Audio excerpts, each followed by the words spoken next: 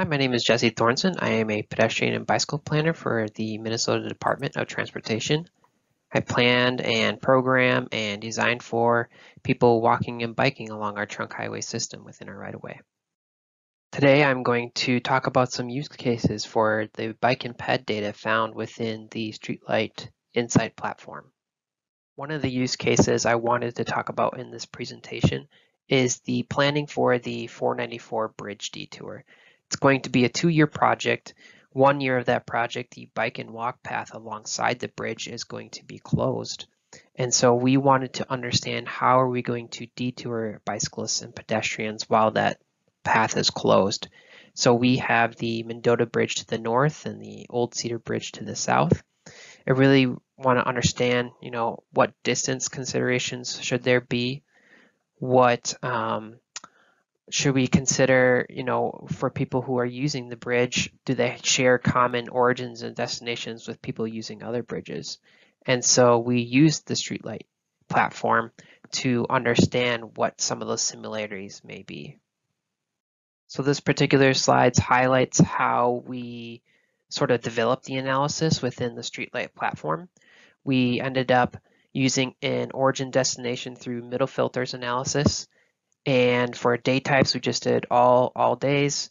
We um, set up the destination census tracts and selected those in the traffic behavior. We looked at what the origin county was. In this instance, it was Hennepin County. Looked at the bridge that was being traveled upon as the middle filter. So over here is a 494 bridge. And then for the destination census tracts, we took the census tracts that were closest to the county that we're coming from and set those up as the destination zones. So we did it from Hennepin coming into Dakota County and Dakota County going into Hennepin County. Looking at the origins of Dakota County to the destinations of Hennepin County census tracts using the Streetlight Insight platform, we were able to look at where people using the 494 bridge were traveling, where people using the Mendota Bridge were traveling and where people using the Old Cedar Road Bridge were traveling. Comparing the three graphics that were um, output from there, we were able to see that the census tracts that were highlighted in the 494 bridge um, travel pattern were very similar to the ones where people were using the Mendota Bridge. Flipping that analysis around and looking at people coming from Hennepin County and then going into Dakota County, you can see 494 bridge output is right here the Mendota Bridge output is right here, and the Old Cedar Bridge output is right here.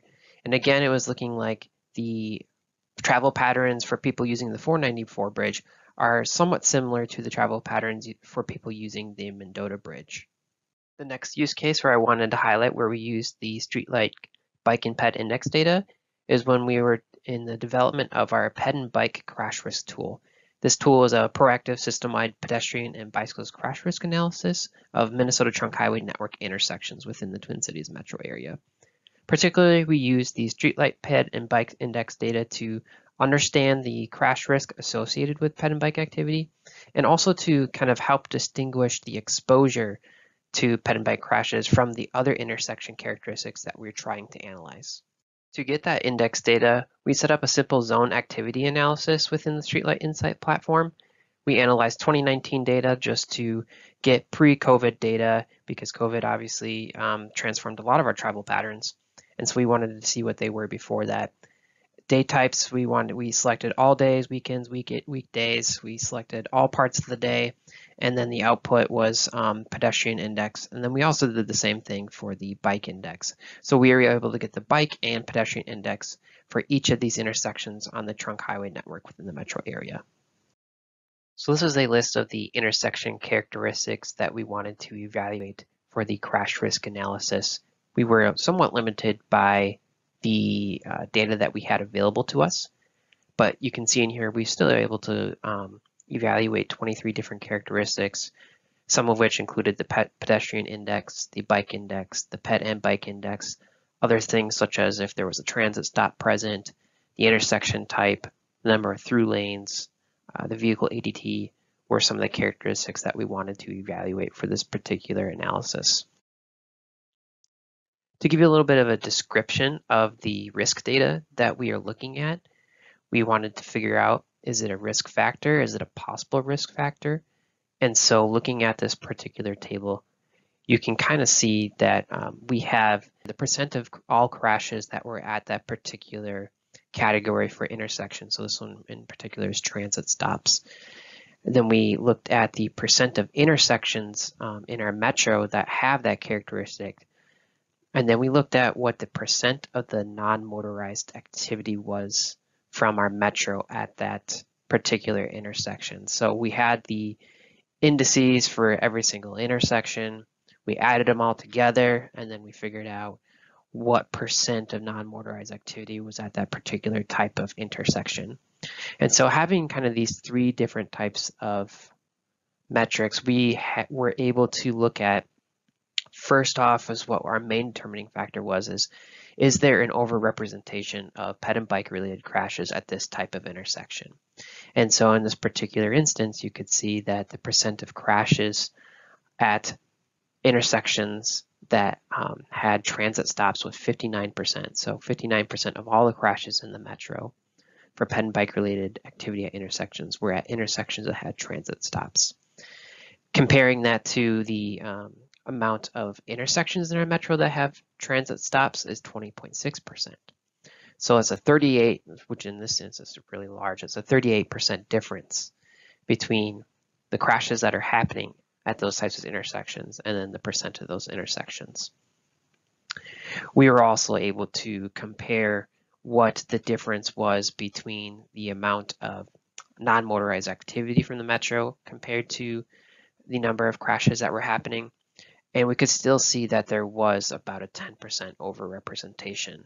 So the the the StreetLight bike and ped activity did help us understand that the increase in crashes was partly due to the fact that there were more pedestrians and cyclists present at those intersections, but there was still an overrepresentation in this particular instance. So for the streetlight index for ped activity and bike activity, what we really ended up doing was converting that relative number, index number that we got from Streetlight, we converted that into a percent rank number.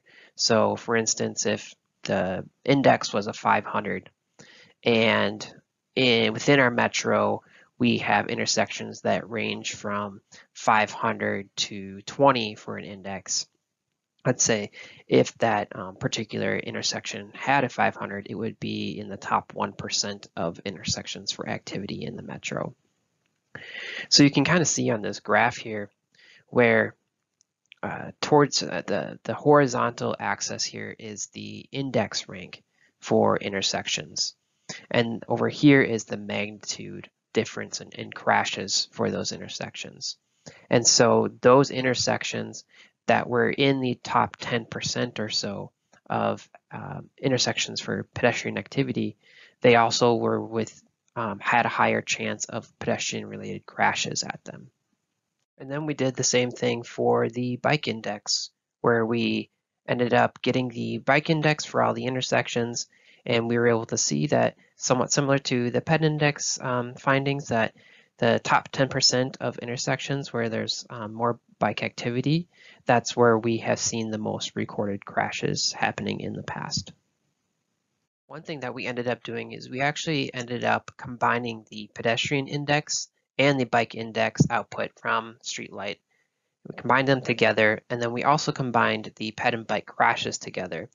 And then once we were to compare those two things together for each intersection, we were actually able to get a better picture of the correlation between bike and ped crashes and StreetLight bike and ped index. And so looking at this graph, you can see ped and bike activity is fairly low at these intersections over here. And then once we start getting into the top 20% of intersections for bicycle and pedestrian activity, that's when we actually start seeing bike and ped related crashes starting to increase uh, gradually until we get further up into the very top here. These were all the different intersection characteristics that we were to say, yeah, there probably is at least some sort of risk, increased risk at those intersections when, when these characteristics are present. And so you could see the streetlight index was on there, transit stops, bikeways, um, parks, schools, whole slew of things that we're able to say, you know, we have the data for this and the data showing that there is an increased risk here. And the um, streetlight index helped us kind of distinguish those things too. This is actually a really interesting graph that I have here.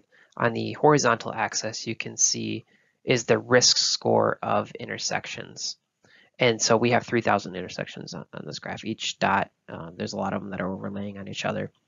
And then on the left side of the graph, the vertical axis is the number of crashes at those at each individual intersection. And so you can see that on the right side of the graph, we have a large concentration of dots that have higher streetlight index indices on here. And then we can also see that um, sometimes we had a risk score that was a little bit lower, but we're still having a lot of crashes at those particular intersections. And one of the things about those outliers is you can see that those particular intersections ended up having a higher um, streetlight index at them. So there were was more ped and bike activity there.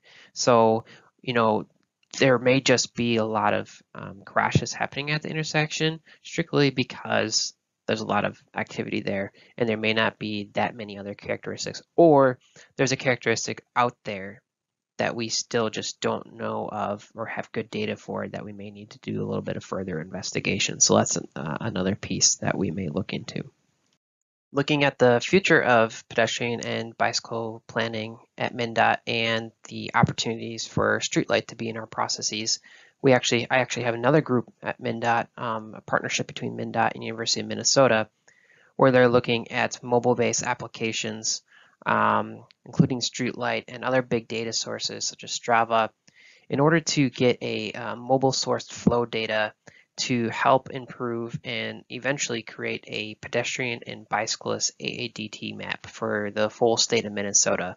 This will be an interactive online tool that we'll be able to use to click on any particular road within the state and say, um, this is the estimated volume for pedestrians and the estimated volume for bicyclists. And so we're really looking forward to that particular project.